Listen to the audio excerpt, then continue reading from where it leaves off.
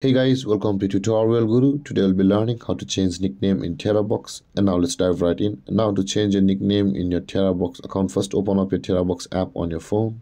And after opening your Terabox app, guys, on this interface at the top left corner of the screen, you can see the tree line icon available for us. Tap on the tree line icon at the top left corner of the screen and kind of interface or panel will appear where you can see at the top of this panel there is your name available for us.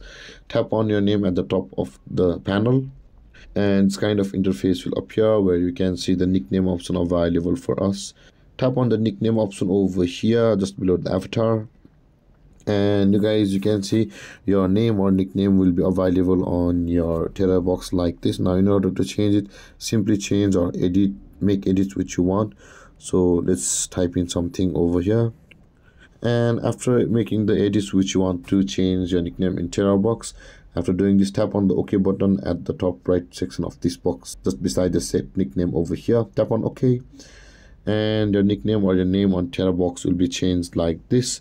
And you can see guys it has been changed over here. And with that being done guys this is how you'll be able to change your nickname on Terabox account. And if you have any confusions or questions regarding the topic feel free to comment in the comment section below. And don't forget to like subscribe and hit that bell icon for more videos. Thank you for watching guys. Peace